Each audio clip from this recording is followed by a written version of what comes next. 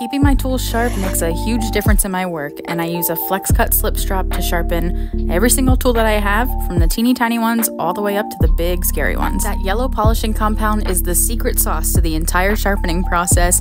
It works like a fine grit sandpaper and it basically does all the sharpening. I apply it liberally to both sides of the SlipStrop and then reapply in between each tool. My tools have a 30 degree bevel on the tip, so I swipe the curved ones side to side, corner to corner in a curved motion at about a 30 degree angle, and then I flip them over and get the inside on the profiles. My V gouges have straight edges, so I'm gonna pull them straight back in a 30 degree angle as well. I do about 10 to 15 passes for each tool on each side, and I stop to sharpen my tools while I work about every 20 minutes or whenever I feel any resistance while I'm carving. My tools are an investment in my art, and keeping them sharp helps me keep them around longer and helps me make better stuff. I hope this helps.